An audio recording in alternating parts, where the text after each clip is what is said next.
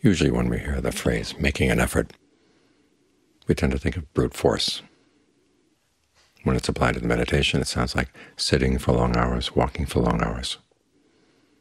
And sometimes a long sit can be very instructive. But the real effort, of course, is in the mind. That's something you can do in all your postures, all your activities. And it's good to remember that, because that's where the real effort of the practice is. After all, right effort comes under the section of the Noble Path that's dealing with concentration.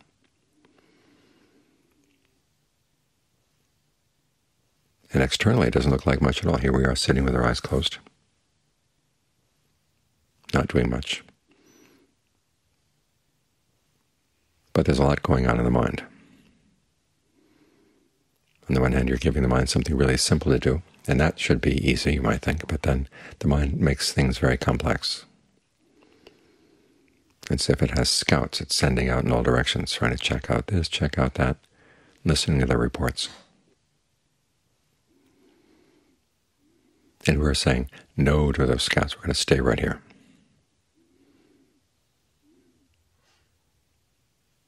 Notice where you feel the breath as it comes in. When we talk about being with the breath, it's not so much the air coming in and out through the nose. It's the movement of energy in the body. This is especially important as the movement of the air becomes very, very soft. It gets harder and harder to follow. It's very easy to get lost. But if you're with the body, your sense of your hands, sense of your feet, your legs, your arms, your torso, your head, all the parts of the body, that can be very still, and you still feel it. So move your focus there. And ask yourself what kind of breathing would feel good in those parts of the body. You can make a survey. Start down around the navel, Watch that part of the body for a while, see what kind of breathing feels good there, and then move up the front of the torso, into the head, then down the back, out the legs, back at the neck, then down the shoulders, out the arms. Get acquainted with this territory. And then see if you can put all those pieces together, put your awareness of all those pieces together.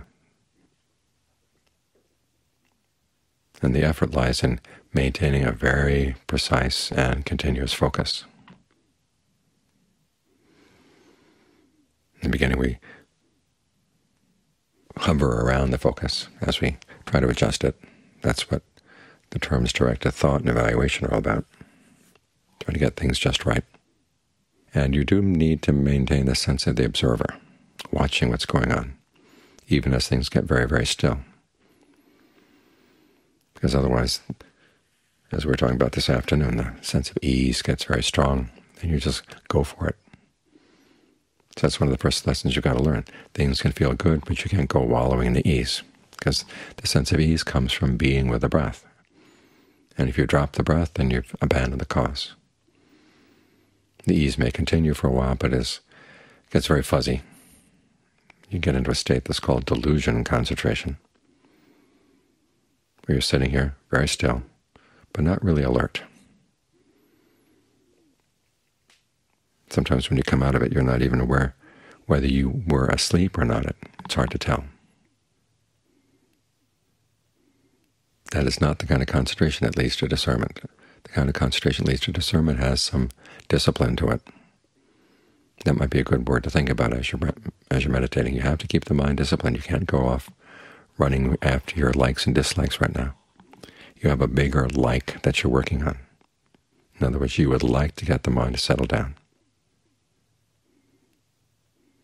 So thoughts of sensuality come up, you have to say no. Interesting thoughts about your work, interesting thoughts about theories about the world, about politics, you have to say no right now. Your ideas may seem very intelligent, very insightful, but they're not what is wanted right now. You've got to work on this other skill, the skill of being very still. Because there's so much that can be seen when you're still that you can't see when the mind is not still. So you hover around this for a while, and finally gain the confidence that you can just settle in. And then watch out for the voices that say, this is stupid, this is dumb. There's not much intelligence going on here. Remember, there are many different kinds of intelligence. The intelligence can think clever thoughts and say clever things. That's only one kind. There's another kind of intelligence that thinks strategically.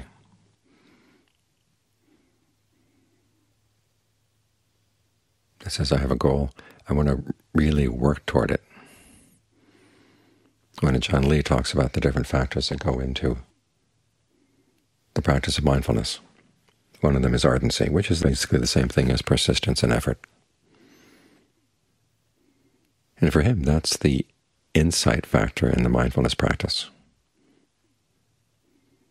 Now the commentaries say the insight factor is sampajanya, which I translate as alertness, other people translate as clear comprehension, because the commentary says, well, that's the factor that sees things as in, inconstant stressful, not self.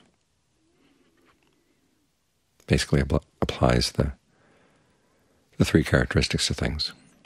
But when the Buddha is explaining mindfulness, he's not saying that at all. When he explains ardency, it's trying to do things well, realizing that there are going to be results that come from what you're doing. And so we want to make sure those results are good. So it's that pragmatic kind of intelligence that goes into the right effort. You realize this is not something you simply study and think about, read about. It's something you've got to do.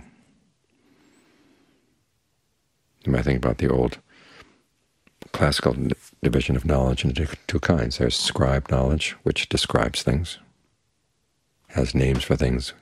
That's knowledge that comes in definitions. And then there's warrior knowledge, the knowledge that comes from developing a skill, and then using it in all kinds of situations, getting really good at it, learning how to apply it, whatever, whatever happens. And we're working on warrior knowledge here.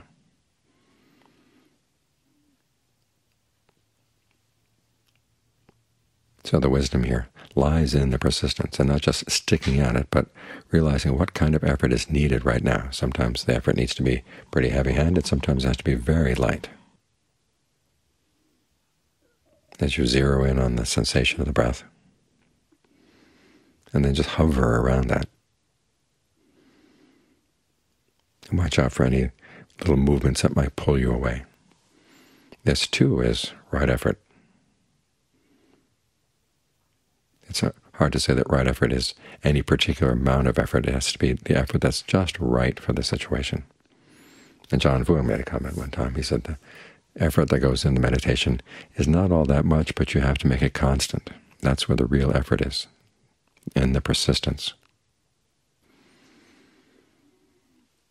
And because it is an effort in the mind, it's something you can do in all kinds of situations. At the monastery we had construction projects. There were two kinds. There were the ones that would go on for months and months at a time. And there were others that would happen on the spur of the moment. And Ajaan Fuang would say after the meal, okay, today we're going to do X. He hadn't said anything about doing X to anybody before that. All of a sudden, the meal is done. Okay, we have to do X, and we wouldn't stop doing it until it was done. Then it wasn't the case, well, you just put your meditation aside while you work. That doesn't work at all because sometimes the projects go on for hours. We had one project that started at 8 in the morning and didn't finish until 4 a.m. the next morning. And if you don't have an internal resource to draw on, an internal strength of mind, you get worn out pretty quickly. So this is where you have to remember that the effort of the practice is in the mind. You can be doing physical work and be alert to the breath have a sense of your center. If that gets a little blurry, you can start using a meditation word that you repeat to yourself. In terms of the physical effort that's involved, it's not that much, but it is a mental effort that you stick persistently with what you decide you're going to stay focused on. In the beginning, it seems to require more out of you, but you find that you can stay in it for the long term much more easily. So again, the, the wisdom of the effort is lies in seeing maybe what you want to do right now is not what's going to be good for you in the long term. This is a lesson we had to learn as kids. And it doesn't change when you come to the Dharma. Some people like to think, well, when you go to the Dharma, the rules change. You can think in non-dualistic thinking.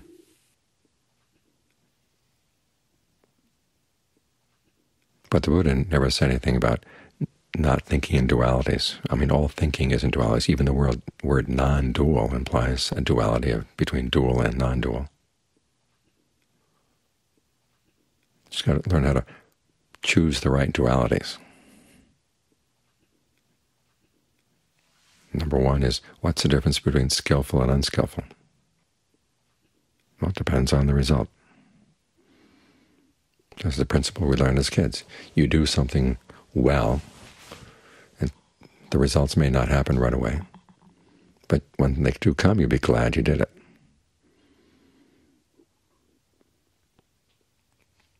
Basic Wisdom 101.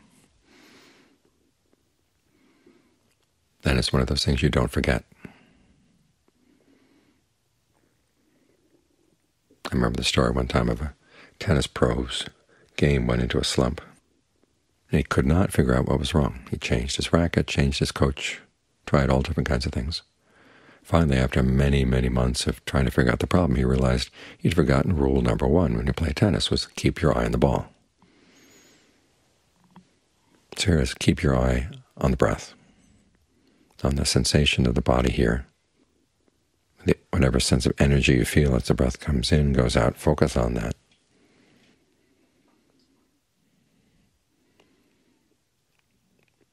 And don't let yourself get waylaid.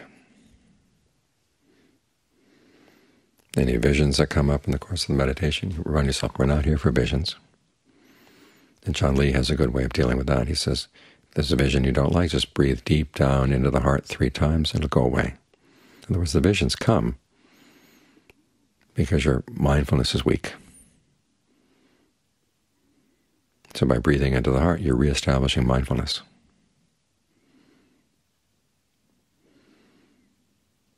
Some people are afraid of visions when they meditate. But it's not the case that genuine concentration is going to bring them on. It's the kind of concentration where you begin to wallow in the sense of ease. Forget the breath. And in those periods where mindfulness is weak, that's when the visions come. So reestablish your mindfulness and they'll go away.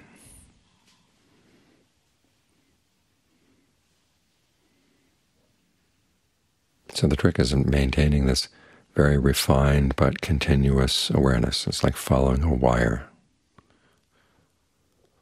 and not letting your eyes leave the wire at all, no matter what happens.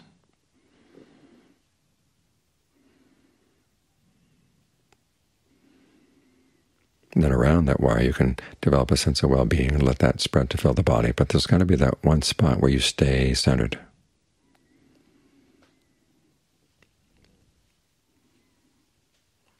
And don't let there be any jumps or gaps.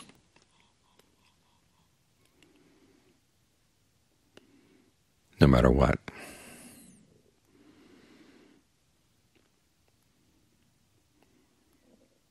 And that's when the effort becomes right. And Sometimes it'll require a lot of energy to stay, and sometimes just a little bit. But you apply whatever effort is needed, and you learn how to read the needs of the mind and the body with practice.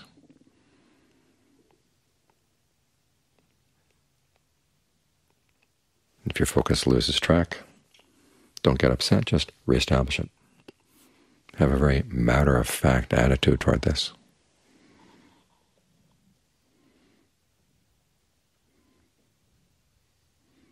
And you find that as you develop your discernment as to what is the just right amount of effort, the effort becomes right.